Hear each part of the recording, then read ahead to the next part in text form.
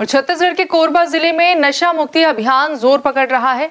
तो वहीं रज रजगामार चौकी क्षेत्र के ग्राम बुंदेली में मझवार समाज के लोग एसपी कार्यालय पहुँचे और महुआ शराब के अवैध बिक्री पर रोक लगाने की मांग की है।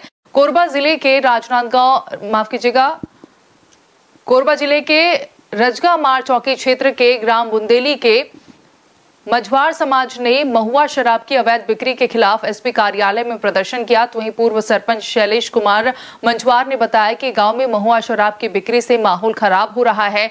मझवार समाज ने शराब बनाने वालों पर ग्यारह हज़ार रुपए और पीकर हुड़दंग मचाने वालों पर ग्यारह सौ रुपए का जुर्माना लगाने का निर्णय लिया है। इस कदम के बाद गाँव में पचास प्रतिशत लोगों ने शराब बनाना और पीना बंद कर दिया है।